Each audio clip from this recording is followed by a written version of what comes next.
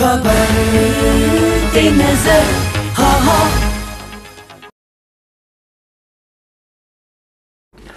ਸਤਿ ਸ਼੍ਰੀ ਅਕਾਲ ਦੋਸਤੋ ਮੈਂ ਦਰਸ਼ਨ ਸਿੰਘ ਦਰਸ਼ਕ ਅੱਜ ਫਿਰ ਖਬਰ ਤੇ ਨਜ਼ਰ ਪ੍ਰੋਗਰਾਮ ਲੈ ਕੇ ਹਾਜ਼ਰ ਹਾਂ ਅੱਜ ਜਿੰਨੇ ਵੀ ਅਖਬਾਰਾਂ ਨੇ ਜਾਂ ਮੀਡੀਆ ਹੈ, ਉਹਦੇ ਤੇ ਬਹੁਤ ਸਾਰੀਆਂ ਖਬਰਾਂ ਅਹ, ਪੰਜਾਬ ਦੀਆਂ ਸਥਾਨਕ ਖਬਰਾਂ ਦੇਸ਼ ਦੀਆਂ ਵਿਦੇਸ਼ ਦੀਆਂ ਚੱਲਦੀਆਂ ਰਹੀਆਂ ਨੇ। ਪਰ ਪੰਜਾਬ ਦੇ ਲਈ ਜਿਹੜੀਆਂ ਸਭ ਤੋਂ ਪ੍ਰਮੁੱਖ ਖਬਰ ਸੀ, ਉਹ ਜਿਹੜੀ ਅੱਜ ਸਾਰੀਆਂ ਅਖਬਾਰਾਂ ਦੇ ਵਿੱਚ ਸੁਰਖੀ ਵੀ ਬਣੀ ਹੈ, ਸਾਡੇ ਪੰਜਾਬੀ ਮੀਡੀਆ ਦੇ ਉੱਤੇ ਜਿਹੜਾ ਟੀਵੀ ਹੈ ਜਾਂ ਸਾਰੇ ਆ, ਉੱਥੇ ਵੀ ਪ੍ਰਮੁੱਖ ਖਬਰ ਬਣੀ ਹੈ। ਉਹ ਖਬਰ ਇਹ ਹੈ ਕਿ ਮਾਨ ਸਰਕਾਰ ਦਾ ਜਿਹੜਾ ਮੰਤਰੀ ਮੰਡਲ ਹੈ, ਉਹਦਾ ਵਿਸਥਾਰ ਵੀ ਹੋਇਆ, ਉਹਦੇ ਵਿੱਚ ਫੇਰ ਬਦਲ ਵੀ ਹੋਈ ਹੈ। ਉਸ ਫੇਰ ਬਦਲ ਦੇ ਪਿੱਛੇ ਕੀ ਕਾਰਨ ਹੈ?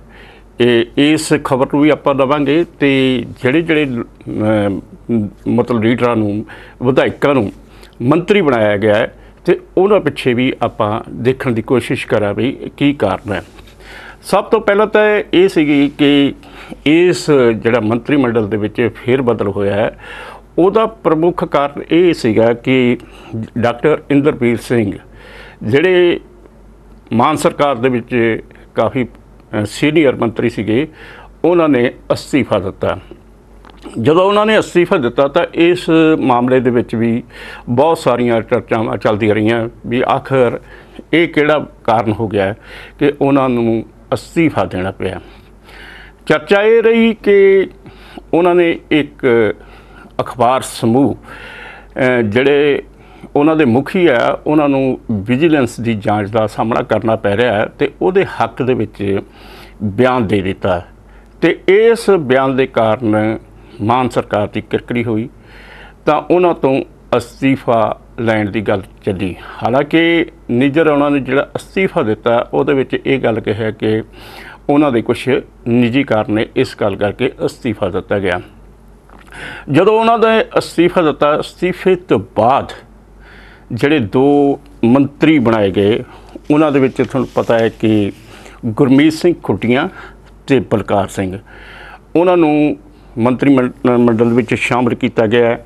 ਉਹਦੇ ਵਿੱਚ ਜਿਹੜਾ ਹੈਗਾ ਗੁਰਮੀਤ ਸਿੰਘ ਖੁੱਡੀਆਂ ਨੂੰ ਜਿਹੜਾ ਹੈਗਾ ਖੇਤੀਬਾੜੀ ਦਾ ਵਿਭਾਗ ਦਿੱਤਾ ਗਿਆ ਹੈ ਤੇ ਬਲਕਾਰ ਸਿੰਘ ਉਹਨਾਂ ਨੂੰ ਲੋਕਲ ਪਾਰਟੀ ਦਾ ਜਿਹੜਾ ਹੈਗਾ ਕਾਰਜਪਾਲ ਸੰਭਾਲਿਆ ਗਿਆ ਹੁਣ ਗੱਲ ਇਹ ਹੈ ਕਿ ਇਹ ਵੀ ਹੁਣ ਇੱਕ ਚਰਚਾ ਚੱਲ ਰਹੀ ਹੈ ਕਿ ਇਹਨਾਂ ਦੋ ਲੀਡਰਾਂ ਨੂੰ ਜਿਹੜਾ ਹੈਗਾ ਮੰਤਰੀ ਮੰਡਲ ਵਿੱਚ ਸ਼ਾਮਲ ਕਿਉਂ ਕੀਤਾ ਗਿਆ?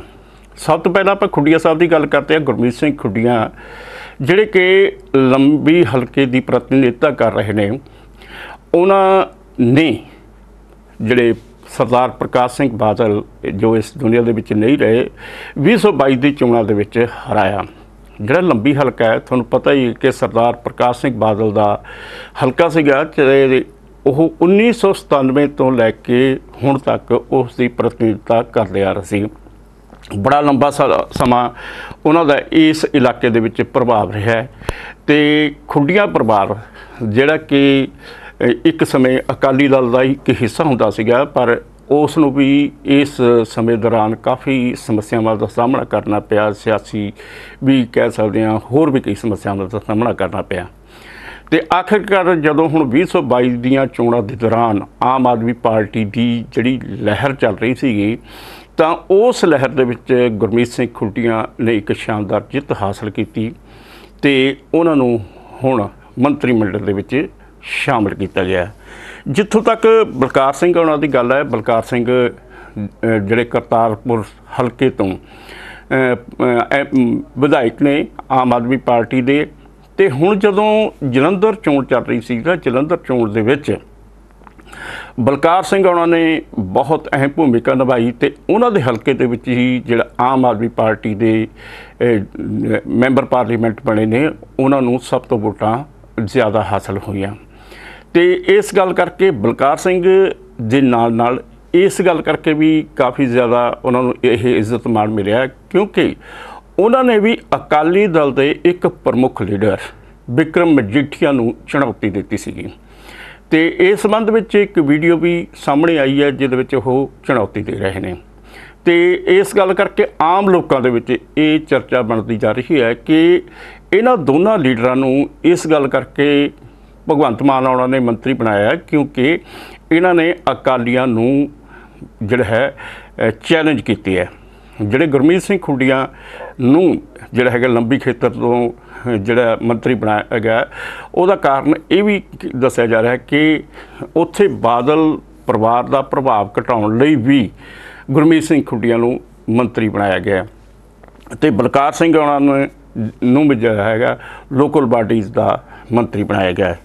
ਇਸ ਦੇ ਨਾਲ ਨਾਲ ਇੱਕ ਹੋਰ ਵੀ ਇਸ ਮਾਮਲੇ ਵਿੱਚ ਚਰਚਾ ਚੱਲਦੀ ਰਹੀ ਕਿ ਆਖਿਰ ਜਿਹੜਾ ਹੈਗਾ, ਇਹ ਜਿਹੜਾ ਰੱਦੋ ਬਦਲ ਹੋਇਆ, ਫੇਰ ਬਦਲ ਹੋਇਆ ਜਾਂ ਵਿਸਥਾਰ ਹੋਇਆ, ਇਸ ਵਿਸਥਾਰ ਦੇ ਦੌਰਾਨ ਜਿਹੜੇ ਕੁਲਦੀਪ ਸਿੰਘ ਧਾਲੀਵਾਲ ਹੈ, ਉਹ ਇੱਕ ਪ੍ਰਮੁੱਖ ਆਮ ਆਦਮੀ ਪਾਰਟੀ ਦੇ ਮੰਤਰੀ ਰਹੇ ਨੇ ਤੇ ਉਹਨਾਂ ਦਾ ਕੱਦ ਕਿਉਂ ਘਟਾਇਆ ਗਿਆ ਹੈ? ਇਹ ਆਮ ਚਰਚਾ ਲੋਕਾਂ ਦੇ ਵਿੱਚ ਹੈ, ਹੋਰ ਵੀ ਜਿਹੜਾ ਹੈਗਾ, ਮੀਡੀਆ ਦੇ ਵਿੱਚ ਜੀ ਚਰਚਾ ਚੱਲਦੀ ਹੈ। ਕੁਲਦੀਪ ਸਿੰਘ ਧਾਲੀਵਾਲ ਇੱਕ ਇਹੋ ਜਿਹੇ ਲੀਡਰ ਨੇ ਜਿਹੜੇ ਕਿ ਭਗਵੰਤ ਮਾਨ ਦੇ ਕਾਫੀ ਨਜ਼ਦੀਕੀ ਵੀ ਦੱਸੇ ਗਏ ਨੇ ਤੇ ਉਹਨਾਂ ਨੇ ਪਿਛਲੇ ਸਮੇਂ ਦੌਰਾਨ ਤੁਹਾਨੂੰ ਪਤਾ ਹੀ ਹੈ ਕਿ ਜਿਹੜੀ ਨਜਾਇਜ਼ ਕਬਜ਼ਿਆਂ ਦੇ ਖਿਲਾਫ ਜਿਹੜੀ ਮੁਹਿੰਮ ਚਲਾਈ ਹੈ, ਉਹ ਮੁਹਿੰਮ ਕਾਫੀ ਕਾਮਯਾਬੀ ਹੋਈ ਹੈ, ਉਸ ਦੇ ਵਿੱਚ ਬਹੁਤ ਜਿਹੜੇ ਲੀਡਰ ਨੇ, ਜਿਨ੍ਹਾਂ ਨੇ, ਲੀਡਰ ਨਹੀਂ ਕਿ ਆਮ ਲੋਕ ਵੀ ਨੇ, ਜਿਨ੍ਹਾਂ ਨੇ ਸਰਕਾਰੀ ਜ਼ਮੀਨਾਂ ਦੇ ਉੱਤੇ ਕਬਜ਼ੇ ਕੀਤੇ ਹੋਏ ਸੀ, ਉਹ ਕਬਜ਼ੇ ਹਟਾਏ ਨੇ। ਤੇ ਉਹਨਾਂ ਨੂੰ ਅਲਟੀਮੇਟ ਵੀ ਦਿੱਤਾ ਗਿਆ ਸੀਗਾ ਕਿ 31 ਮਈ ਤੱਕ ਹਟਾ ਇਹ ਕਬਜ਼ੇ ਹਟਾ ਲਓ, ਨਹੀਂ ਤਾਂ ਮਤਲਬ ਕਬਜ਼ੇ ਛੱਡ ਦਿਓ ਨਹੀਂ ਤਾਂ ਉਹਨਾਂ ਦੇ ਖਿਲਾਫ ਸਖਤ ਕਾਰਵਾਈ ਹੋਵੇਗੀ। ਪਰ ਕੁਲਦੀਪ ਸਿੰਘ ਧਾਲੀਵਾਲ ਨੂੰ ਕੱਲ ਦੀ ਜਿਹੜੀ ਫੇਰ ਬਦਲ ਹੋਇਆ ਮੰਤਰੀ ਮੰਡਲ ਦੇ ਵਿੱਚ, ਉਹਦੇ ਵਿੱਚ ਉਹਦੇ ਅੰਦਰ ਕਈ ਜਿਹੜੇ ਖ- ਪ੍ਰਮੁੱਖ ਆਪਾਂ ਵਿਭਾਗ ਨੇ ਉਹ ਲੈ ਲਿੱਤੇ ਗਏ। ਤੇ ਇਹਦੇ ਪਿੱਛੇ ਕੀ ਕਾਰਨ ਹੋ ਸਕਦਾ ਹੈ? ਉਹਦੇ ਪਿੱਛੇ ਕੁਝ ਲੋਕ ਇਹ ਕਹਿ ਰਹੇ ਨੇ ਕਿ ਕੁਲਦੀਪ ਸਿੰਘ ਧਾਲੀਵਾਲ ਉਹਨਾਂ ਨੇ ਇੱਕ ਦਿਨ ਜਿਹੜਾ ਇਹ ਬਿਆਨ ਦਿੱਤਾ ਸੀਗਾ ਕਿ ਐਜੂਕੇਸ਼ਨ ਦੇ ਵਿੱਚ ਜਿਹੜਾ ਹੈਗਾ, ਆਈਲੈਟਸ ਵੀ ਸ਼ਾਮਲ ਕੀਤੀ ਜਾਣੀ ਚਾਹੀਦੀ ਹੈ। ਆਈਲੈਟਸ ਦਾ ਮਤਲਬ ਇਹ ਹੈ ਕਿ ਵਿਦੇਸ਼ ਜਾਣ ਦੇ ਲਈ ਨੌਜਵਾਨਾਂ ਨੂੰ ਪ੍ਰੇਰਿਤ ਕਰਨਾ। ਭਗਵੰਤ ਮਾਨ ਜਿਹੜੇ ਮੁੱਖ ਮੰਤਰੀ ਨੇ ਉਹ ਹਮੇਸ਼ਾ ਹੀ ਇਹ ਗੱਲ ਕਰਦੇ ਆ ਰਹੇ ਨੇ ਕਿ ਅਸੀਂ ਰੰਗਲਾ ਪੰਜਾਬ ਬਣਾਉਣਾ ਹੈ ਤੇ ਜਿਹੜੇ ਨੌਜਵਾਨ ਵਿਦੇਸ਼ਾਂ ਵਿੱਚ ਜਾ ਰਹੇ ਨੇ ਉਹਨਾਂ ਨੂੰ ਰੋਕਣਾ ਹੈ ਤੇ ਪੰਜਾਬ ਦੇ ਵਿੱਚ ਹੀ ਉਹਨਾਂ ਨੂੰ ਚੰਗੇ ਅਮ, ਰੁਜ਼ਗਾਰ ਦੇਣੇ ਆ ਜਾਂ ਸਵੈ ਰੁਜ਼ਗਾਰ ਦੀ ਗੱਲ ਕਰਨੀ ਹੈ। ਪਰ ਜੇਕਰ ਸਰਕਾਰ ਹੀ ਆਈਲੈਟਸ ਨੂੰ ਹੱਲਾਸ਼ੇਰੀ ਦੇਊਗੀ ਤਾਂ ਉਹਦੇ ਨਾਲ ਵੀ ਜਿਹੜਾ ਹੈਗਾ ਖਾਸ ਤੌਰ ਤੇ ਭਗਵੰਤ ਮਾਨ ਉਹਨਾਂ ਦੇ ਬਿਆਨ ਦੀ ਹੀ ਜਿਹੜੀ ਹੈਗਾ ਵਿਰੋਧ ਹੁੰਦਾ ਹੈ। ਤੇ ਇਸ ਗੱਲ ਕਰਕੇ ਵੀ ਇਹ ਕਿਹਾ ਜਾ ਰਿਹਾ ਕਿ ਜਿਹੜੇ ਦੋ ਬਿਆਨ ਤੇ, ਦੋ ਲੀਡਰਾਂ ਦੇ ਬਿਆਨ ਨੇ, ਖਾਸ ਤੌਰ ਤੇ ਇੱਕ ਇੰਦਰਬੀਰ ਸਿੰਘ ਨਿੱਜਰ ਉਹਨਾਂ ਦਾ ਬਿਆਨ ਤੇ ਕੁਲਦੀਪ ਸਿੰਘ ਧਾਲੀਵਾਲ ਦੇ ਜਿਹੜੇ ਬਿਆਨ ਨੇ, ਉਹਨਾਂ ਨੇ ਇਹਨਾਂ ਲੀਡਰਾਂ ਦੀ ਜਿਹੜਾ ਹੈਗਾ ਜਿਵੇਂ ਨਿੱਜਰ ਉਹਨਾਂ ਦੀ ਤਾਂ ਕੁਰਸੀ ਚਲੀ ਗਈ ਤੇ ਜਿਹੜਾ ਆਪਣੇ ਕੁਲਦੀਪ ਸਿੰਘ ਧਾਲੀਵਾਲ ਉਹਨਾਂ ਦਾ ਜਿਹੜਾ ਰੁਤਬਾ ਕੁਛ ਹੇਠਾਂ ਵੱਲ ਆਇਆ। ਤੇ ਦੂਜੀ ਬਹੁਤ ਵੱਡੀ ਜਿਹੜੀ ਖਬਰ ਕੱਲ ਆਪਾਂ ਇੰਤਜ਼ਾਰ ਕਰਦੇ ਰਹੇ। ਉਹ ਇੰਤਜ਼ਾਰ ਇਸ ਗੱਲ ਦਾ ਸੀਗਾ ਕਿ ਜਿਹੜੇ ਅਖੀਰਲੇ ਸਮੇਂ ਦੇ ਵਿੱਚ ਅ, 2022 ਦੀਆਂ ਚੋਣਾਂ ਦੌਰਾਨ ਚਰਨਜੀਤ ਸਿੰਘ ਚੰਨੀ ਨੂੰ ਮੁੱਖ ਮੰਤਰੀ ਬਣਾਇਆ ਗਿਆ ਸੀਗਾ ਕਾਂਗਰਸ ਦੁਆਰਾ। ਤੇ ਕਾ- ਕਾਂਗਰਸ ਇਹ ਚਾਹੁੰਦੀ ਸੀ ਕਿ ਕਿਵੇਂ ਨਾ ਕਿਵੇਂ ਦਲਿਤ ਵੋਟ ਨੂੰ ਆਪਣੇ ਵੱਲ ਕੀਤਾ ਜਾਵੇ, ਪਰ ਉਸ ਸਮੇਂ ਹਵਾ ਕੁਝ ਇਸ ਤਰ੍ਹਾਂ ਦੀ ਬਣੀ ਹੋਈ ਸੀਗੀ ਕਿ ਕਿਸੇ ਵੀ ਪਾਰਟੀ ਵੱਲੋਂ ਖੇਡਿਆ ਗਿਆ ਪੈਂਤੜਾ ਕੰਮ ਨਹੀਂ ਆਇਆ। ਪਰ ਇਸ ਦੌਰਾਨ ਚਰਚਾ ਦੇ ਵਿੱਚ ਚਰਨਜੀਤ ਸਿੰਘ ਚੰਨੀ ਰਹੇ ਤੇ ਉਹਨਾਂ ਨੇ ਖੁਦ ਵੀ ਆਪਣੀ ਚਰਚਾ ਕਰਾਈ, ਜਿਹਦੇ ਵਿੱਚ ਉਹ ਕਿਤੇ ਭੰਗੜਾ ਪਾਉਂਦੇ ਨਜ਼ਰ ਆਉਂਦੇ ਆ, ਫਿਰ ਕਈ ਗੱਲਾਂ ਦੇ ਉੱਤੇ ਇਹ ਕਹਿੰਦੇ ਮੈਂ ਇਹ ਵੀ ਕਰ ਲੈਣਾ ਮੈਂ ਉਹ ਵੀ ਕਰ ਲੈਣਾ ਤੇ ਆਖਰਕਾਰ ਇਸ ਸੰਬੰਧ ਵਿੱਚ ਜਦੋਂ ਆ ਚੋਣਾਂ ਵੋਟਾਂ ਪਈਆਂ ਤਾਂ ਕਾਂਗਰਸ ਵੀ ਹਾਰ ਗਈ ਤੇ ਆਮ ਆਦਮੀ ਪਾਰਟੀ ਦੀ ਸਰਕਾਰ ਬਣੀ। ਤੇ ਇਸ ਦੌਰਾਨ ਤੁਹਾਨੂੰ ਪਤਾ ਹੀ ਹੈ ਕਿ ਜਿਹੜੀ ਭਗਵੰਤ ਮਾਨ ਉਹਨਾਂ ਨੇ ਇੱਕ ਮੁਹਿੰਮ ਚਲਾ ਰਹੀ ਹੋਈ ਹੈ ਭ੍ਰਿਸ਼ਟਾਚਾਰ ਦੇ ਖਿਲਾਫ। ਉਸ ਮੁਹਿੰਮ ਦੇ ਦੌਰਾਨ ਬਹੁਤ ਸਾਰੇ ਕਾਂਗਰਸੀ ਜਿਹੜੇ ਮੰਤਰੀ ਨੇ, ਇਸ ਸਮੇਂ ਕੋਈ ਤਾਂ ਜੇਲ੍ਹ ਦੇ ਵਿੱਚ ਚ- ਜਾ ਚੁੱਕੇ ਨੇ, ਕਈਆਂ ਦੇ ਖਿਲਾਫ ਜਾਂਚ ਚੱਲ ਰਹੀ ਹੈ, ਬੜਾ ਕੁਝ ਇਸ ਤਰ੍ਹਾਂ ਦਾ ਚੱਲ ਰਿਹਾ ਹੈ। ਚਰਨਜੀਤ ਸਿੰਘ ਚੰਨੀ ਦੇ ਖਿਲਾਫ ਵੀ ਜਾਂਚ ਚੱਲ ਰਹੀ ਹੈ। ਇਸ ਸਬੰਧ ਵਿੱਚ ਭਗਵੰਤ ਮਾਨ ਹੋਣੇ ਪਿਛਲੇ ਦਿਨੀ ਹਿਮਾਚਲ ਪ੍ਰਦੇਸ਼ ਦੇ ਵਿੱਚ ਇੱਕ ਆਈਪੀਐਲ ਦਾ ਮੈਚ ਚੱਲ ਰਿਹਾ ਸੀਗਾ। ਉਹਨਾਂ ਨੇ ਇਹ ਗੱਲ ਦਾ ਦਾਅਵਾ ਕੀਤਾ ਹੈ ਕਿ ਉਹਨਾਂ ਨੂੰ ਇੱਕ ਕ੍ਰਿਕਟ ਦਾ ਖਿਡਾਰੀ ਮਿਲਿਆ ਸੀਗਾ, ਜਿਸ ਨੇ ਇਹ ਗੱਲ ਕਹੀ ਹੈ ਕਿ ਚਰਨਜੀਤ ਸਿੰਘ ਚੰਨੀ ਦੇ ਰਿਸ਼ਤੇਦਾਰ ਨੇ ਉਹਨਾਂ ਤੋਂ ਨੌਕਰੀ ਦੇ ਬਦਲੇ 2 ਕਰੋੜ ਰੁਪਏ ਮੰਗੇ ਸੀਗੇ। ਤੇ ਇਸ ਸੰਬੰਧ ਵਿੱਚ ਉਹਨਾਂ ਨੇ ਇਹ ਗੱਲ ਕਹੀ ਸੀ ਕਿ ਚਰਨਜੀਤ ਸਿੰਘ ਚੰਨੀ, ਜਾਂ ਤਾਂ ਉਹ ਆਪ ਦੱਸ ਦੇਣ, ਨਹੀਂ ਤਾਂ ਉਹ 31 ਮਈ ਨੂੰ 2 ਵਜੇ ਦੁਪਹਿਰ ਤੋਂ ਬਾਅਦ ਇੱਕ ਪ੍ਰੈਸ ਕਾਨਫਰੰਸ ਕਰਨਗੇ ਤੇ ਸਬੂਤਾਂ ਸਣੇ ਬੰਦਿਆਂ ਨੂੰ ਵੀ ਪੇਸ਼ ਕਰਨਗੇ। ਤੇ ਇਸ ਗੱਲ ਕਰਕੇ ਚਰਨਜੀਤ ਸਿੰਘ ਚੰਨੀ ਨੇ ਉਸ ਸਮੇਂ ਜਦੋਂ ਇਹ ਦੋਸ਼ ਲੱਗਿਆ ਸੀ ਤਾਂ ਉਹ ਗੁਰਦੁਆਰਾ ਸਾਹਿਬ ਗਏ ਸੀਗੇ ਤੇ ਉੱਥੇ ਅਰਦਾਸ ਵੀ ਕੀਤੀ ਸੀ ਤੇ ਅਰਦਾਸ ਦੇ ਵਿੱਚ ਉਹਨਾਂ ਨੇ ਕਿਹਾ ਸੀਗਾ, ਮੈਂ ਕੋਈ ਵੀ ਅਜਿਹਾ ਕੰਮ ਨਹੀਂ ਕੀਤਾ, ਜੇਕਰ ਮੈਂ ਕੋ- ਕਿਸੇ ਤੋਂ ਨੌਕਰੀ ਦੇ ਬਦਲੇ ਜਾਂ ਕਿਸੇ ਬਦਲੀ ਦੇ ਬਦਲੇ ਪੈਸੇ ਲਏ ਹੋਣ ਤਾਂ ਮੇਰਾ ਕੱਖ ਨਾ ਰਹੇ। ਚਲੋ, ਖੈਰ, ਆਖਿਰਕਾਰ ਹੁਣ ਜਿਹੜਾ ਹੈਗਾ ਭਗਵੰਤ ਮਾਨ ਉਹਨਾਂ ਨੇ ਕੱਲ ਪ੍ਰੈਸ ਕਾਨਫਰੰਸ ਕੀਤੀ। ਪ੍ਰੈਸ ਕਾਨਫਰੰਸ ਦੇ ਦੌਰਾਨ, ਜਿਹੜਾ ਉੱਥੇ ਜਸ ਇੰਦਰ ਸਿੰਘ ਨਾਮ ਦੇ ਇੱਕ ਨੌਜਵਾਨ ਦਾ ਉਹਨਾਂ ਨੇ ਨਾਮ ਲਿਆ, ਜ਼ਿਕਰ ਕੀਤਾ। ਉਹਦੇ ਪਿਤਾ ਵੀ ਉੱਥੇ ਬੈਠੇ ਸੀਗੇ, ਮਨਿੰਦਰ ਸਿੰਘ, ਭਗਵੰਤ ਮਾਨ ਆਉਣ ਦੇ ਨਾਲ। ਉਹਨਾਂ ਇਹ ਦੱਸਿਆ ਕਿ ਜਿਹੜਾ ਜਸ ਜਸਵਿੰਦਰ ਸਿੰਘ ਸੀਗਾ, ਉਹਨੇ ਪੰਜਾਬ ਪਬਲਿਕ ਸਰਵਿਸ ਕਮਿਸ਼ਨ ਦੇ ਵਿੱਚ ਇੱਕ ਐਗਜ਼ਾਮ ਦਿੱਤਾ ਸੀਗਾ। ਉਹਦੇ ਵਿੱਚ ਉਹ, ਉਹਨਾਂ ਦੀ ਜਿਹੜੀ ਕੈਟਾਗਰੀ ਸੀਗੀ ਉਹ ਖਿਡਾਰੀ ਦੇ ਤੌਰ ਤੇ ਸੀ ਜਦੋਂ ਰਿਜ਼ਲਟ ਆਇਆ, ਉਹਦੇ ਵਿੱਚ ਉਸ ਨੂੰ 198 ਨੰਬਰ ਮਿਲੇ। ਪਰ ਜਿਹੜਾ ਪਬਲਿਕ ਸਰਵਿਸ ਕਮਿਸ਼ਨ ਨੇ ਉਸ ਮੌਕੇ ਦੇ ਉੱਤੇ ਇਹ ਗੱਲ ਕਹੀ ਕਿ ਕ੍ਰਿਕਟ ਨੂੰ ਅਸੀਂ ਇਹ ਉਹਨਾਂ ਖੇਡਾਂ ਦੇ ਵਿੱਚ ਸ਼ਾਮਲ ਨਹੀਂ ਕਰਦੇ, ਜਿਹਦੇ ਰਾਹੀਂ ਆਪਣਾ ਖਿਡਾਰੀ ਦਾ ਕੋਟਾ ਬਣਦਾ ਹੋਵੇ। ਇਸ ਸੰਬੰਧ ਵਿੱਚ ਉਹਨਾਂ ਨੇ ਫਿਰ ਜਦੋਂ ਕੈਪਟਨ ਅਮਰਿੰਦਰ ਸਿੰਘ ਮੁੱਖ ਮੰਤਰੀ ਹੁੰਦੇ ਸੀਗੇ, ਤਾਂ ਮੁੱਖ ਮੰਤਰੀ ਹੁੰਦਿਆਂ ਜਿਹੜਾ ਹੈਗਾ ਇਨਸਾਫ ਲੈਣ ਦੇ ਲਈ ਉਹਨਾਂ ਨੇ ਉਹਨਾਂ ਤੱਕ ਪਹੁੰਚ ਕੀਤੀ। ਤਾਂ ਉਹ ਇਸ ਪਹੁੰਚ ਦੇ ਦੌਰਾਨ ਕੈਪਟਨ ਅਮਰਿੰਦਰ ਸਿੰਘ ਇਸ ਗੱਲ ਨੂੰ ਲੈ ਕੇ ਬੜੇ ਹੈਰਾਨ ਹੋਏ ਕਿ ਜਦੋਂ ਇਹ ਜਿਹੜੀ ਕ੍ਰਿਕਟ ਹੈ, ਇੱਕ ਤਾਂ ਕੌਮਾਂਤਰੀ ਖੇਡ ਹੈ ਭਾਰਤ ਦੇ ਵਿੱਚ ਬਹੁਤ ਜ਼ਿਆਦਾ ਮਸ਼ਹੂਰ ਹੈ ਤੇ ਇਸ ਨੂੰ ਜਿਹੜਾ ਹੈ ਪਬਲਿਕ ਸਰਵਿਸ ਕਮਿਸ਼ਨ ਨੇ ਕਿਉਂ ਨਹੀਂ ਮੰਨਦਾ ਹੈਗਾ ਤੇ ਇਸ ਨੂੰ ਮਾਨਤਾ ਮਿਲਣੀ ਚਾਹੀਦੀ ਹੈ।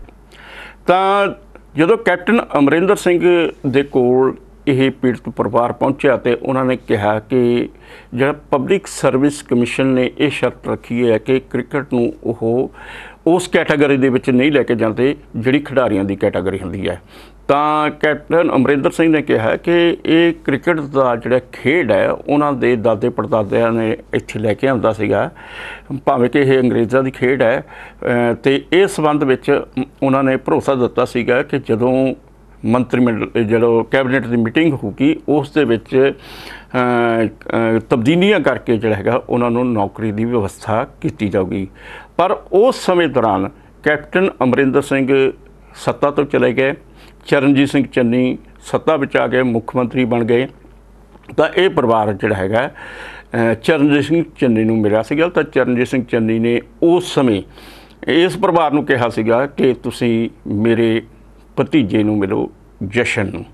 ਤਾਂ ਉਸ ਜਸ਼ਨ ਨੇ ਇਹ ਗੱਲ ਕਹੀ ਸੀਗਾ ਤਾਂ ਇਸ਼ਾਰਾ ਕੀਤਾ ਸੀਗਾ ਦੋ ਦਾ। ਉਹ ਇਹ ਪਰਿਵਾਰ ਇਹ ਸਮਝਿਆ ਕਿ 2 ਲੱਖ ਦੀ ਗੱਲ ਹੋ ਰਹੀ ਹੈ ਤੇ ਉਹਨਾਂ ਨੇ 2 ਲੱਖ ਰੁਪਏ ਦੇਣ ਦੀ ਗੱਲ ਕਹੀ। ਤਾਂ ਅ, ਜਦੋਂ ਲੈ ਕੇ ਵੀ ਆਏ ਕਹਿੰਦੇ ਆ ਦਾਵਾ ਕਰਦੇ ਆ ਮੁੱਖ ਮੰਤਰੀ ਉਹਨੇ ਤਾਂ ਕਹਿੰਦੇ ਆ ਵੀ ਉਸ ਨੇ ਕਿਹਾ ਸੀਗਾ ਕਿ 2 ਕਰੋੜ ਦੀ ਗੱਲ ਹੈ ਨਾ ਕਿ 2 ਲੱਖ ਦੀ ਗੱਲ ਹੈ। ਤੇ ਇਸ ਸੰਬੰਧ ਵਿੱਚ ਉਹਨਾਂ ਨੇ ਦਸਤਾਵੇਜ਼ ਜਿਹੜੇ ਪੇਸ਼ ਕੀਤੇ ਆ ਸਾਰਾ ਕੁਝ ਕਿਹਾ ਗਿਆ। ਤੇ ਇਸ ਸੰਬੰਧ ਵਿੱਚ ਹੁਣ ਇਹ ਵੀ ਗੱਲ ਕਹੀ ਹੈ ਕਿ ਜੋ ਜਸ਼ਨ ਹੈ, ਉਸ ਦੀ ਜਿਹੜਾ ਹੈਗਾ ਜਾਂਚ ਪੜਤਾਲ ਹੋਵੇਗੀ ਵਿਜੀਲੈਂਸ ਦੁਆਰਾ। ਖੈਰ, ਉਸ ਤੋਂ ਬਾਅਦ ਚਰਨਜੀਤ ਸਿੰਘ ਚੰਨੀ ਨੇ ਵੀ ਜਿਹੜਾ ਹੈਗਾ ਆਪਣੇ ਸਾਥੀਆਂ ਦਾ ਨਾਲ ਮਿਲ ਕੇ, ਨਾਲ ਦੀ ਨਾਲ ਪ੍ਰੈਸ ਕਾਨਫਰੰਸ ਕੀਤੀ। ਉਹਦੇ ਵਿੱਚ ਉਹਨਾਂ ਨੇ ਦੋਸ਼ ਲਾਇਆ ਕਿ ਮੁੱਖ ਮੰਤਰੀ ਉਹਨਾਂ ਨੂੰ ਜਾਣਬੁੱਝ ਕੇ ਤੰਗ ਕਰ ਰਹੇ ਨੇ। ਤੇ ਉਹਨਾਂ ਨੇ ਇਹ ਗੱਲ ਕਹਿ ਕੇ ਉਹ ਜਸ਼- ਆਪਣਾ ਜੋ ਕ੍ਰਿਕਟ ਦਾ ਖਿਡਾਰੀ ਆ, ਉਸ ਨੂੰ ਉਹ ਜਾਣਦੇ ਨਹੀਂ ਹੈਗੇ। ਪਰ ਇਹ ਹੋ ਸਕਦਾ ਵੀ ਮਿਲਿਆ ਹੋਵੇ, ਭਗਵੰਤ ਮਾਨ ਨਾਲ ਉਹਨਾਂ ਨੇ ਇੱਕ ਤਸਵੀਰ ਵੀ ਉਸ ਸੰਬੰਧ ਵਿੱਚ ਪੇਸ਼ ਕੀਤੀ ਹੈ। ਖੈਰ, ਇਹ ਹੈ ਕਿ ਇਸ ਮਾਮਲੇ ਦੇ ਵਿੱਚ ਹੁਣ ਕਾਫੀ ਜ਼ਿਆਦਾ ਜਿਹੜੀ ਹੈ, ਤੁਹਾਨੂੰ ਪਤਾ ਹੀ ਹੈ ਕਿ ਸਿਆਸੀ ਬਿਆਨਬਾਜ਼ੀ ਸ਼ੁਰੂ ਹੋ ਗਈ ਹੈ। ਚਰਨਜੀਤ ਸਿੰਘ ਚੰਨੀ ਦੇ ਇਸ ਤੋਂ ਪਹਿਲਾਂ ਇੱਕ ਹੋਰ ਰਿਸ਼ਤੇਦਾਰ ਹਨੀ ਉਸ ਦੇ ਖਿਲਾਫ ਵੀ ਜਿਹੜਾ ਹੈ ਕੇਂਦਰੀ ਜਾਂਚ, ਬਿਊਰੋ ਵੱਲੋਂ ਵੀ ਜਾਂਚ ਕੀਤੀ ਜਾ ਰਹੀ ਹੈ। ਉਸ ਦੇ ਉੱਤੇ ਵੀ ਭ੍ਰਿਸ਼ਟਾਚਾਰ ਦੇ ਦੋਸ਼ ਨੇ।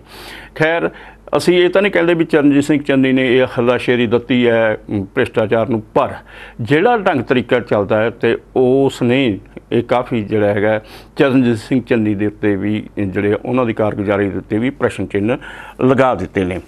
ਤੇ ਇਸ ਤੋਂ ਬਾਅਦ ਜਿਹੜੀ ਆਪਾਂ ਅਗਲੀ ਖਬਰ ਲੈ ਰਹੇ ਹਾਂ, ਉਹ ਇਹ ਹੈ ਕਿ ਭਾਰਤ ਦੇ ਵਿੱਚ 40 ਮੈਡੀਕਲ ਕਾਲਜਾਂ ਦੀ ਜਿਹੜੀ ਰਜਿਸਟ੍ਰੇਸ਼ਨ ਰੱਦ ਕਰ ਦਿੱਤੀ ਗਈ ਹੈ। ਇਹ ਰਜਿਸਟ੍ਰੇਸ਼ਨ ਕੌਮੀ ਮੈਡੀਕਲ ਕਮਿਸ਼ਨ ਨੇ ਕੀਤੀ ਹੈ। ਉਹਦਾ ਕਾਰਨ ਇਹ ਹੈ ਕਿ ਇੱਕ ਤਾਂ ਜਿਹੜੇ ਭਾਰਤ ਦੇ ਵਿੱਚ ਮੈਡੀਕਲ ਕਾਲਜ ਬਹੁਤ ਜ਼ਿਆਦਾ ਵੱਧ ਗਏ। ਵਧਣੇ ਤਾਂ ਚਾਹੀਦੇ ਆ, ਕਿਉਂਕਿ ਭਾਰਤ ਦੀ ਜਿਹੜੀ ਜਨਸੰਖਿਆ ਉਸ ਅਨੁਸਾਰ ਜਿਹੜਾ ਹੈਗਾ ਵੱਧ ਤੋਂ ਵੱਧ ਡਾਕਟਰ ਪੈਦਾ ਹੋਣੇ ਚਾਹੀਦੇ ਆ। ਪਰ ਨਾਲ ਨਾਲ ਜਿਹੜੇ ਡਾ- ਮੈਡੀਕਲ ਕਾਲਜ ਖੁੱਲ੍ਹਦੇ ਆ, ਕੀ ਉਹ ਪੂਰੇ ਮਤਲਬ ਆਪਾਂ ਜਿਹੜੇ ਮਾਪਦੰਡ ਨੇ, ਉਹ ਪੂਰੇ ਕਰਦੇ ਵੀ ਹੈ ਕਿ ਨਹੀਂ ਕਰਦੇ ਹੈਗੇ? ਇਸ ਗੱਲ ਦੇ ਉੱਤੇ ਵੀ ਜਿਹੜਾ ਹੈਗਾ ਚਰਚਾ ਚੱਲਦੀ ਰਹਿੰਦੀ ਹੈ। ਤੇ ਇਸ ਸੰਬੰਧ ਵਿੱਚ ਜਿਹੜੇ ਇਹ ਤਕਰੀਬਨ ਹੁਣ 40 ਤਾਂ ਹਸਪਤਾਲ ਜਿਹੜੇ ਹੈਗੇ ਮੈਡੀਕਲ ਕਾਲਜਾਂ ਦੀ ਮਾਨਤਾ ਰੱਦ ਕਰ ਦਿੱਤੀ ਗਈ ਹੈ। 100 ਦੇ ਕਰੀਬ ਜਿਹੜੇ ਹੈਗੇ ਮੈਡੀਕਲ ਕਾਲਜਾਂ ਦੀ ਹੋਰ ਦੀ ਮਾਨਤਾ ਰੱਦ ਹੋਣ ਜਾ ਰਹੀ ਹੈ। ਉਹਦਾ ਕਾਰਨ ਕੀ ਹੈ? ਇੱਕ ਤਾਂ ਇਹਨਾਂ ਕਾਲਜਾਂ ਦੇ ਵਿੱਚ ਦੱਸਿਆ ਗਿਆ ਵੀ ਸੀਸੀਟੀਵੀ ਕੈਮਰੇ ਨਹੀਂ ਲੱਗੇ ਹੋਏ। ਇਸ ਤੋਂ ਇਲਾਵਾ ਜਿਹੜੇ ਇਹਦੇ ਵਿੱਚ ਆਧਾਰ ਕਾਰਡ ਦੇ ਉੱਤੇ ਬਾਇਓਮੈਟ੍ਰਿਕਸ ਦੀ ਹਾਜ਼ਰੀ ਆ ਉਹ ਨਹੀਂ ਲੱਗ ਰਹੀ ਹੈਗੀ। ਇਸ ਦੇ ਨਾਲ ਜਿਹੜੇ ਫੈਕਲਟੀ ਦੇ ਨਾਲ ਸੰਬੰਧਿਤ ਕਈ ਜਿਹੜੀਆਂ ਸਮੱਸਿਆਵਾਂ ਅ, ਖੜੀਆਂ ਹੋਈਆਂ ਹੋਈਆਂ ਨੇ। ਤੇ ਇਸ ਸੰਬੰਧ ਵਿੱਚ ਇਹ ਵੀ ਮਤਲਬ ਜਿਹੜੇ ਅੰਕੜੇ ਸਾਹਮਣੇ ਆਏ ਆ ਕਿ 2014 ਦੇ ਵਿੱਚ ਤਕਰੀਬਨ 386 ਕਾਲਜ ਸੀਗੇ ਭਾਰਤ ਦੇ ਵਿੱਚ। ਤੇ ਉਹ ਹੁਣ ਜਿਹੜੇ ਹੈਗੇ ਵੱਧ ਕੇ ਜਿਹੜੇ ਹੈਗੇ 654 ਹੋ ਗਿਆ ਤਕਰੀਬਨ ਉਹਨਾਂ 'ਚ 69% ਵਾਧਾ ਹੋ ਚੁੱਕਿਆ ਇਹ ਠੀਕ ਹੈ ਕਿ ਇਹ ਕਾਲਜ ਖੁੱਲ੍ਹਣੇ ਚਾਹੀਦੇ ਹੈ, ਪਰ ਕਾਲਜ ਦੇ ਖੁੱਲ੍ਹਣ ਦੇ ਨਾਲ ਨਾਲ ਇਹ ਵੀ ਬਹੁਤ ਜ਼ਿਆਦਾ ਜ਼ਰੂਰੀ ਹੈ ਕਿ ਜਿਹੜੇ ਜਿਹੜੇ ਮਾਪਦੰਡ ਰੱਖੇ ਗਏ ਨੇ ਉਹ ਪੂਰੇ ਹੋਣੇ ਚਾਹੀਦੇ ਆ। ਉਹਨਾਂ ਮਾਪਦੰਡਾਂ ਦੇ ਨਾਲ ਹੀ ਜਿਹੜੇ ਵਿਦਿਆਰਥੀਆਂ ਨੂੰ ਪੜਾਇਆ ਜਾਣਾ ਚਾਹੀਦਾ ਹੈ। ਜੇਕਰ ਇਸੇ ਤਰੀਕੇ ਨਾਲ ਖੁੰਬਾਂ ਵਾਂਗੂ ਹਸਪਤਾਲ, ਜਿਹੜੇ ਮੈਡੀਕਲ ਕਾਲਜ ਖੁੱਲ੍ਹਦੇ ਰਹੇ, ਪਰ ਉਹ ਜਿਹੜੀਆਂ ਸ਼ਰਤਾਂ ਪੂਰੀਆਂ ਨਾ ਕਰਦੇ ਗਏ, ਤਾਂ ਉਹ ਜਿਹੜੇ ਬੱਚਿਆਂ ਨੂੰ ਵੀ ਚੰਗੀ ਐਜੂਕੇਸ਼ਨ ਨਹੀਂ ਦੇ ਸਕਦੇ। ਇਸ ਤੋਂ ਇਲਾਵਾ ਜਿਹੜੀ ਅਗਲੀ ਖਬਰ ਹੈ, ਉਹ ਬੜੀ ਇਸ ਜਿਹੜਾ ਹੈਗਾ ਕਹਿਣ ਤੋਂ ਬਣਦਾ ਹੈ ਕਿ ਮੌਸਮ ਬੜਾ ਸੁਹਾਣਾ ਹੋ ਗਿਆ ਹੈ। ਪਰ ਕਈ ਵਾਰ ਇਹ ਹੁੰਦਾ ਹੈ ਕਿ ਸਾਡੀਆਂ ਫਸਲਾਂ ਪੱਕੀਆਂ ਹੁੰਦੀਆਂ ਨੇ ਤੇ ਉਸ ਸਮੇਂ ਮੀਂਹ ਪੈ ਜਾਂਦਾ ਹੈ, ਗੜੇਮਾਰੀ ਹੋ ਜਾਂਦੀ ਹੈ ਤੇ ਫਿਰ ਵੀ ਕਈ ਲੋਕ ਕਹਿ ਦਿੰਦੇ ਆ, ਮੌਸਮ ਬੜਾ ਸੁਹਾਣਾ ਹੋ ਗਿਆ, ਵਧੀਆ ਹੋ ਗਿਆ। ਪਰ ਉਸ ਸਮੇਂ ਬਹੁਤ ਸਾਰੇ ਜਿਹੜੇ ਲੋਕਾਂ ਦੀਆਂ ਫਸਲਾਂ ਪੱਕੀਆਂ ਪਈਆਂ ਹੁੰਦੀਆਂ ਨੇ, ਜਦੋਂ ਉਹਨਾਂ ਤੇ ਗੜੇਮਾਰੀ ਹੁੰਦੀ ਹੈ ਤਾਂ ਬਹੁਤ ਹੀ ਦੁੱਖ ਹੁੰਦਾ ਉਹਨਾਂ ਲੋਕਾਂ ਦਾ, ਕਿਉਂਕਿ ਉਹਨਾਂ ਦੀ ਪੂਰੀ ਸਾਲ ਦੀ ਜਿਹੜੀ ਜਾਂ ਆਪਾਂ 6 ਮਹੀਨਿਆਂ ਦੀ ਮਿਹਨਤ ਹੁੰਦੀ ਹੈ ਉਹ ਪਾਣੀ ਦੇ ਵਿੱਚ ਫਿਰ ਜਾਂਦੀ ਹੈ ਕਿਉਂਕਿ ਅਸੀਂ ਦੇਖਿਆ। ਜਦੋਂ ਹੁਣ ਕਣਕ ਪੱਕੀ ਹੋਈ ਸੀ ਤੇ ਕਣ- ਕਣਕ ਪੱਕੀ ਹੋਣ ਨਾਲ ਕਈ ਤਰੀਕੇ ਦੇ ਨਾਲ ਵਾਹ ਬਰੋਲੇ ਆਏ ਗੜੇ ਮਾਰੀ ਹੋਈ, ਮੀਂਹ ਪਿਆ ਤੇ ਉਹਦੇ ਨਾਲ ਫਸਲ ਦੀ ਬਰਬਾਦੀ ਹੋਈ। ਪਰ ਇਹ ਹੈ ਕਿ ਕੱਤੀ ਜਿਹੜਾ ਹੈਗਾ ਲਗਾਤਾਰ ਇਹ ਬਾਰਿਸ਼ਾਂ ਹੋ ਰਹੀਆਂ ਨੇ, ਉਹ ਵੀ ਮਈ ਮਹੀਨੇ ਦੇ ਵਿੱਚ। ਜਦ ਕਿ ਮਈ ਮਹੀਨੇ ਦੇ ਵਿੱਚ ਜਿਹੜੀ ਤਾਪਮਾਨ ਹੁੰਦਾ ਹੈ 44 45 ਦੇ ਤਕਰੀਬਨ ਪਹੁੰਚ ਜਾਂਦਾ ਹੈ। ਤੇ ਕ- ਇਹ ਜਿਹੜਾ ਮੀਂਹ ਪੈ ਰਿਹਾ ਹੈ, ਉਹ ਦੱਸਿਆ ਜਾਂਦਾ ਹੈ ਕਿ 1970 ਦੇ ਵਿੱਚ ਇਹ ਜਿਹਾ ਮਤ ਹਾਲਾਤ ਬਣੇ ਸੀਗੇ, ਜਦੋਂ ਇਸ ਤਰੀਕੇ ਦੇ ਨਾਲ ਮੀਂਹ ਦੇਖਣ ਨੂੰ ਮਿਲਿਆ ਸੀਗਾ। ਤੇ ਇਸ ਤਕਰੀਬਨ ਹੁਣ ਐਵਰੇਜ ਤਕਰੀਬਨ ਜਿਹੜਾ ਹੈਗਾ ਸਾਰੇ ਪੰਜਾਬ ਦੇ ਵਿੱਚ 25.9 ਡਿਗਰੀ ਦੇ ਉੱਤੇ ਚੱਲ ਰਿਹਾ ਜਿਹੜਾ ਕਿ 14-15 ਡਿਗਰੀ ਘੱਟ ਹੈ। ਇਸ ਮੀਂਹ ਦੇ ਨਾਲ ਜਿਹੜਾ ਹੈ, ਆਮ ਲੋਕ ਤਾਂ ਰਾਹਤ ਮਹਿਸੂਸ ਕਰਦੇ ਨੇ ਕਿਉਂਕਿ ਇੰਨੀ ਗਰਮੀ ਤੋਂ ਰਾਹਤ ਮਿਲਦੀ ਹੈ। ਇਸ ਦੇ ਨਾਲ ਨਾਲ ਸਰਕਾਰ ਨੂੰ ਵੀ ਬਹੁਤ ਵੱਡੀ ਰਾਹਤ ਮਿਲਦੀ ਹੈ ਕਿਉਂਕਿ ਇਹਨਾਂ ਦਿਨਾਂ ਦੇ ਵਿੱਚ ਗਰਮੀ ਜ਼ਿਆਦਾ ਹੋਣ ਕਰਕੇ ਏਸੀ ਬਹੁਤ ਚੱਲਣ ਲੱਗ ਜਾਂਦੇ ਨੇ। ਸਰਕਾਰ ਤੋਂ ਡਿਮਾਂਡ ਹੋ- ਹੁੰਦੀ ਹੈ ਲੋਕਾਂ ਦੀ ਕਿ ਵੱਧ ਤੋਂ ਵੱਧ ਬਿਜਲੀ ਮਿਲਣੀ ਚਾਹੀਦੀ ਹੈ। ਤੇ ਇਹਦੇ ਨਾਲ ਨਾਲ ਇਹ ਸਰਕਾਰ ਦਾ ਵੀ ਖਰਚਾ ਬਚਦਾ ਹੈ। ਤੇ ਇਹ ਇੱਕ ਚੰਗੀ ਖਬਰ ਹੈ। ਦੂਜੀ ਇੱਕ ਹੋਰ ਵਧੀਆ ਖਬਰ ਹੈ ਪਟਿਆਲਾ ਵਾਸੀਆਂ ਦੇ ਲਈ। ਪਟਿਆਲੇ ਦਾ ਇੱਕ ਨੌਜਵਾਨ ਹੈ, ਉਹ ਐਨਡੀਏ ਦੇ ਵਿੱਚ ਪਹਿਲੇ ਨੰਬਰ ਤੇ ਆਇਆ ਉਸ ਨੂੰ 골ਡ ਮੈਡਲ ਮਿਲਿਆ ਹੈ। 21 ਸਾਲ ਦਾ ਨਾਮ ਹੈ ਨੌਜਵਾਨ ਹੈ, ਉਹਦਾ ਨਾਮ ਹੈ ਅਫਰੀਦ ਅਫਰੋਜ਼, ਜਿਹੜਾ ਪੰਜਾਬੀ ਯੂਨੀਵਰਸਿਟੀ ਦੇ ਵਿੱਚ ਇੱਕ ਪ੍ਰੋਫੈਸਰ ਨੇ ਉਹਨਾਂ ਮੁਹੰਮਦ ਹਬੀਬ, ਉਹਨਾਂ ਦਾ ਬੇਟਾ ਹੈ ਤੇ ਉਸ ਨੂੰ ਇਹ 골ਡ ਮੈਡਲ ਮਿਲਿਆ ਜਿਹੜੇ ਮੁਹੰਮਦ ਹਬੀਬ ਨੇ, ਉਹ ਰਿਲੀਜੀਅਸ ਸਟੱਡੀ ਦੇ ਮੁਖੀ ਰਹੇ ਨੇ ਤੇ ਹੁਣ ਇਸ ਸਮੇਂ ਮੌਲਾਨਾ ਆਜ਼ਾਦ ਨੈਸ਼ਨਲ ਉਰਦੂ ਯੂਨੀਵਰਸਿਟੀ ਦੇ ਵਿੱਚ ਕੰਮ ਕਰ ਰਹੇ ਨੇ।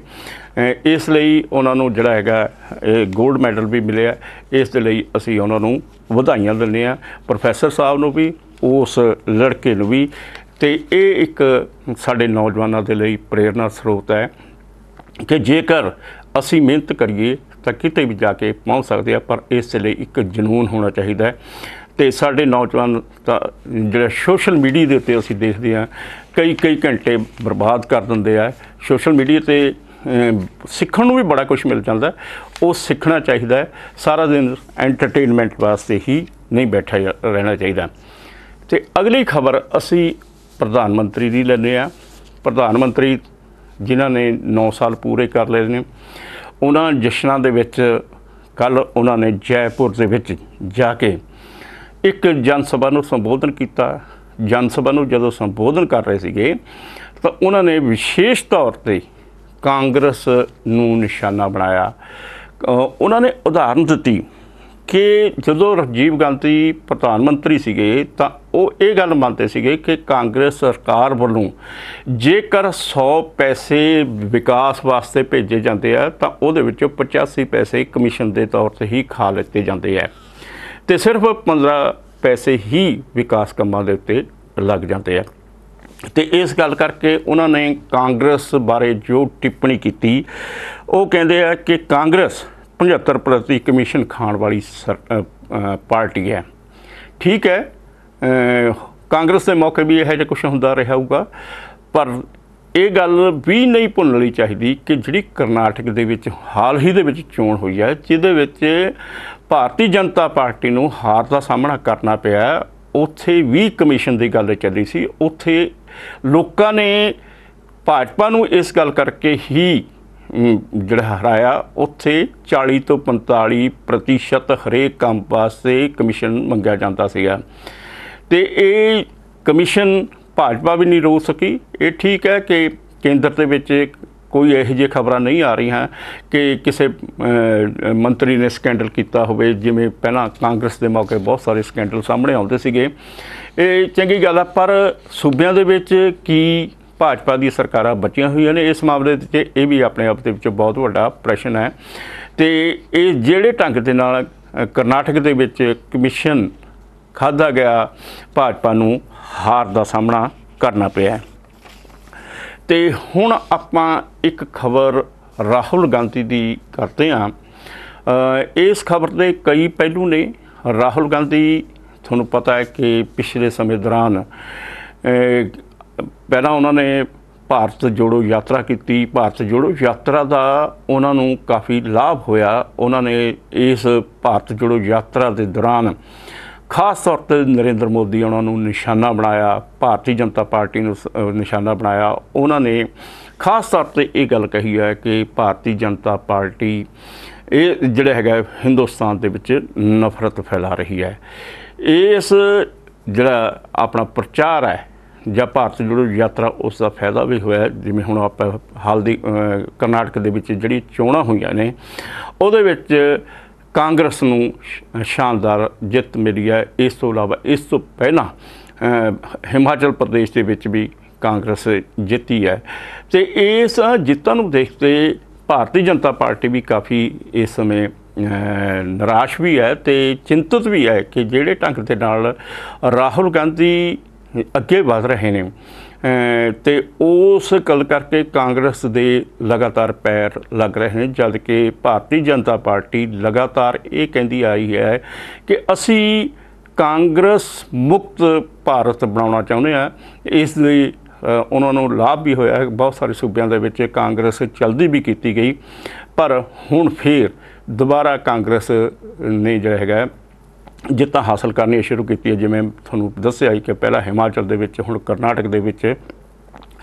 ਤੇ ਇਸ ਸੰਬੰਧ ਦੇ ਵਿੱਚ ਹੁਣ ਰਾਹੁਲ ਗਾਂਧੀ ਵਿਦੇਸ਼ ਗਏ ਹੋਏ ਨੇ, ਅਮਰੀਕਾ ਦੇ ਵਿੱਚ ਗਏ ਹੋਏ ਨੇ। ਇਹ ਰਾਹੁਲ ਗਾਂਧੀ ਉਹਨਾਂ ਨੇ ਹੁਣ ਵਿਦੇਸ਼ਾਂ ਦੇ ਵਿੱਚ ਜਾ ਕੇ ਇਹ ਕਹਿਣਾ ਸ਼ੁਰੂ ਕਰ ਦਿੱਤਾ ਕਿ ਕਾਂਗਰਸ ਹੁਣ ਮੁਹੱਬਤ ਦੀ ਦੁਕਾਨ ਖੋਲ੍ਹਣ ਜਾ ਰਹੀ ਹੈ। ਇਹ ਇੱਕ ਪ੍ਰੋਗਰਾਮ ਹੈ। ਸਾਨ ਫਰਾਂਸਿਸਕੋ ਦੇ ਵਿੱਚ ਰਾਹੁਲ ਗਾਂਧੀ ਸੰਬੋਧਨ ਕਰ ਰਹੇ ਸੀਗੇ। ਉਹਨਾਂ ਨੇ ਇਹ ਗੱਲ ਕਹੀ ਕਿ ਕੋ ਜਿਹੜਾ ਦੁਨੀਆ ਇਹ ਬਹੁਤ ਵੱਡੀ ਹੈ। ਕੋਈ ਬੰਦਾ ਇਹ ਦਾਵਾ ਨਹੀਂ ਕਰ ਸਕਦਾ ਕਿ ਉਹ ਸਭ ਕੁਝ ਜਾਣਦਾ ਹੈ। ਪਰ ਬਹੁਤ ਸਾਰੇ ਲੋਕਾਂ ਨੂੰ ਇਸ ਗੱਲ ਦਾ ਭਰਮ ਹੋ ਜਾਂਦਾ ਹੈ ਕਿ ਉਹ ਸਭ ਕੁਝ ਜਾਣਦੇ ਆ।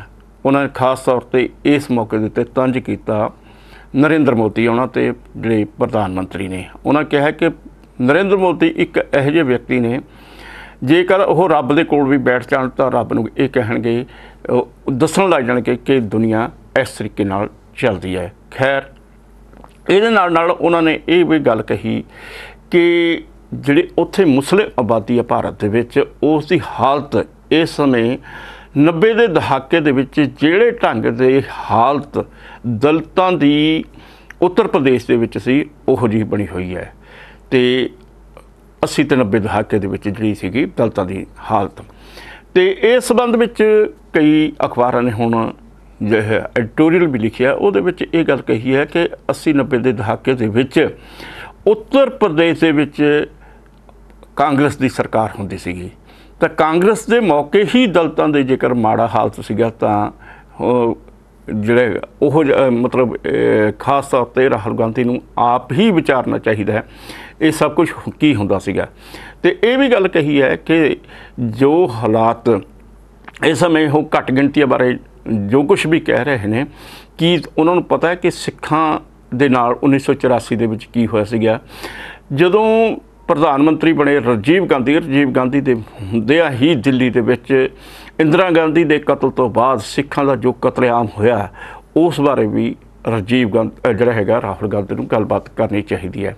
ਖੈਰ ਅਹ ਤੇ ਇਸ ਵੇਲੇ ਜਦੋਂ ਰਾਹੁਲ ਗਾਂਧੀ ਉਸ ਆਪਣਾ ਸੰਬੋਧਨ ਕਰ ਰਹੇ ਸੀਗੇ ਤਾਂ ਇੱਕ ਖਬਰ ਇਹ ਵੀ ਆ ਰਹੀ ਹੈ ਕਿ ਉਸ ਮੌਕੇ ਦੇ ਉੱਤੇ ਅ, ਖਾਲਿਸਤਾਨੀ ਪੱਖੀ ਲੋਕਾਂ ਨੇ ਉੱਥੇ ਨਾਅਰੇਬਾਜ਼ੀ ਕੀਤੀ ਕਾਂਗਰਸ ਦੇ ਖਿਲਾਫ ਨਾਅਰੇਬਾਜ਼ੀ ਕੀਤੀ ਭਾਰਤ ਸਰਕਾਰ ਦੇ ਖਿਲਾਫ ਨਾਅਰੇਬਾਜ਼ੀ ਕੀਤੀ, ਇੰਦਰਾ ਗਾਂਧੀ ਦੇ ਖਿਲਾਫ ਨਾਅਰੇਬਾਜ਼ੀ ਕੀਤੀ।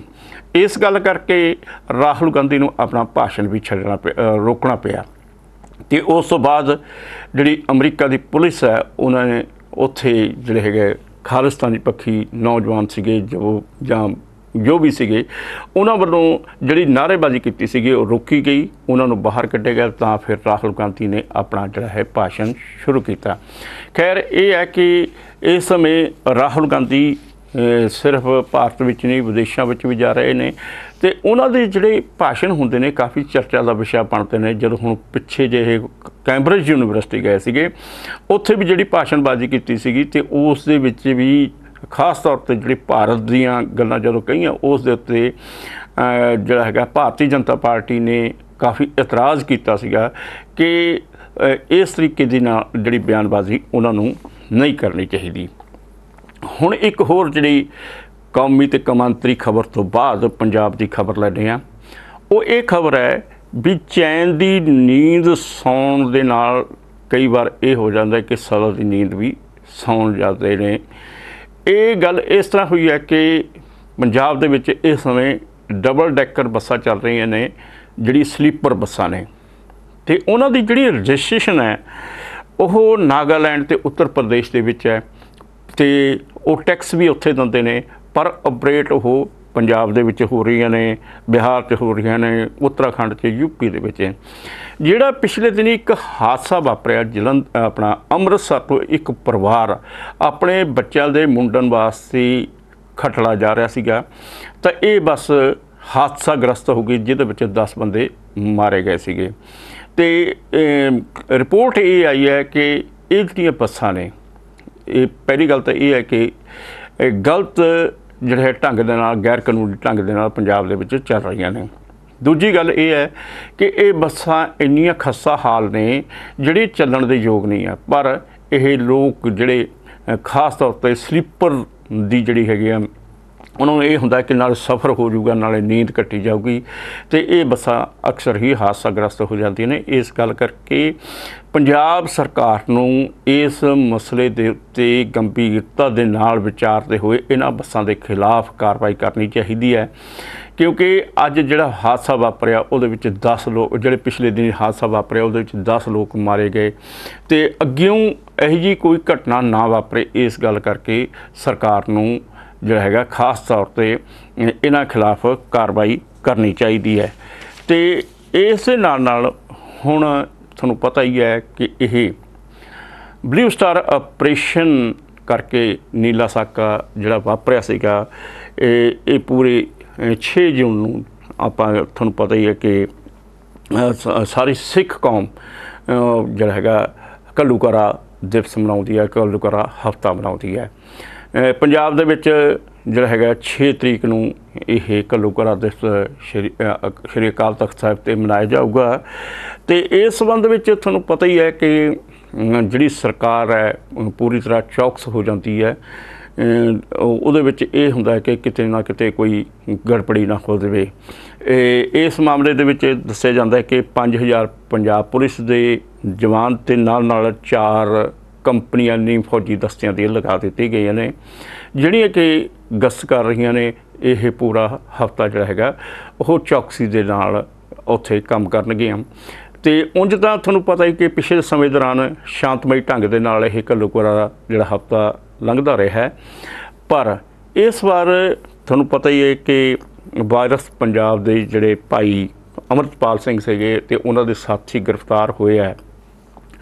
ਉਸ ਤੋਂ ਬਾਅਦ ਹ- ਹਰਿਮੰਦਰ ਸਾਹਿਬ ਦੇ ਕੋਲ ਜਿਹੜੇ ਤਿੰਨ ਧਮਾਕੇ ਵੀ ਹੋਏ ਆ, ਤੇ ਇਸ ਗੱਲ ਕਰਕੇ ਜਿਹੜੀ ਸਰਕਾਰ ਕਾਫੀ ਜ਼ਿਆਦਾ ਚੌਕਸ ਹੈ, ਤੇ ਉਹਨੂੰ ਇਹ ਲੱਗਦਾ ਕਿ ਕਿਤੇ ਅਜਿਹਾ ਕੋਈ ਪਾਣਾ ਨਾ ਵਾਪਰ ਜਾਵੇ, ਤੇ ਇਸ ਗੱਲ ਕਰਕੇ ਕਾਫੀ ਚੌਕਸੀ ਵਰਤੀ ਜਾ ਰਹੀ ਹੈ, ਤੇ ਇਹਦੇ ਨਾਲ ਨਾਲ ਜਿਹੜਾ ਹੈਗਾ ਦੇਖਣਾ ਇਹ ਖਾਸ ਤੌਰ ਤੇ ਅਸੀਂ ਚਾਹੁੰਦੇ ਹਾਂ ਕਿ ਪੰਜਾਬ ਦੇ ਵਿੱਚ ਸ਼ਾਂਤੀ ਬਣੀ ਰਹੇ ਪਰ ਇਹ ਹੈ ਕਿ ਸਿੱਖਾਂ ਦੇ ਨਾਲ ਜਿਹੜਾ ਇਹ ਜ਼ਿਆਦਤੀ ਹੋਈ ਹੈ, ਇਸ ਨੂੰ ਹਮੇਸ਼ਾ ਹੀ ਜਿਹੜੇ ਲੋਕ ਯਾਦ ਰੱਖਦੇ ਆ। ਤੁਹਾਨੂੰ ਯਾਦ ਦਿਵਾ ਦਈਏ ਕਿ ਬਲੂ ਸਟਾਰ ਆਪਰੇਸ਼ਨ, ਜਿਹਦੀ ਹੁਣ ਹਾਲ ਹੀ ਦੇ ਵਿੱਚ ਮੈਂ ਹੁਣ ਪਹਿਲਾਂ ਖਬਰ ਦੇ ਵਿੱਚ ਗੱਲਬਾਤ ਕੀਤੀ ਹੈ ਕਿ ਇਸ ਸਮੇਂ ਜਿਹੜਾ ਖਾਸ ਤੌਰ ਤੇ ਜਿਹੜਾ ਸਿੱਖ ਭਾਈਚਾਰਾ ਹੈ, ਉਹ ਚਾਹੇ ਅਮਰੀਕਾ 'ਚ ਬੈਠਾ ਹੈ, ਕੈਨੇਡਾ 'ਚ ਬੈਠਾ ਹੈ, ਕਿਤੇ ਵੀ ਬੈਠਾ ਉਸ ਨੂੰ ਜਿਹੜੇ ਜ਼ਖਮ ਮਿਲਿਆ ਉਸ ਜ਼ਖਮਾਂ ਨੂੰ ਕਦੇ ਵੀ ਅਸੀਂ ਸਹਿਣ ਨਹੀਂ ਕਰ ਸਕਦੇ, ਕਿਉਂਕਿ ਉਸ ਸਮੇਂ ਦੀ ਜਿਹੜੀ ਕਾਂਗਰਸ ਸਰਕਾਰ ਸੀਗੀ ਉਸ ਨੇ ਇਹ ਬਲੂ ਸਟਾਰ ਆਪਰੇਸ਼ਨ ਕੀਤਾ ਸੀਗਾ, ਜਿਹਦੇ ਵਿੱਚ ਸ਼੍ਰੀ ਅਕਾਲ ਤਖਤ ਸਾਹਿਬ ਨੂੰ ਢਹਿ ਕੀਤਾ ਗਿਆ ਸੀ। ਸੰਤ ਜਰਨੈਲ ਸਿੰਘ ਪਿੰਡਰਾ ਵਾਲੇ ਤੇ ਹੋਰ ਬਹੁਤ ਸਾਰੇ ਪ੍ਰਮੁੱਖ ਸਿੱਖ ਲੀਡਰ ਜਿਹੜੇ ਇਸ ਮੌਕੇ ਸ਼ਹੀਦ ਹੋ ਗਏ ਸੀਗੇ।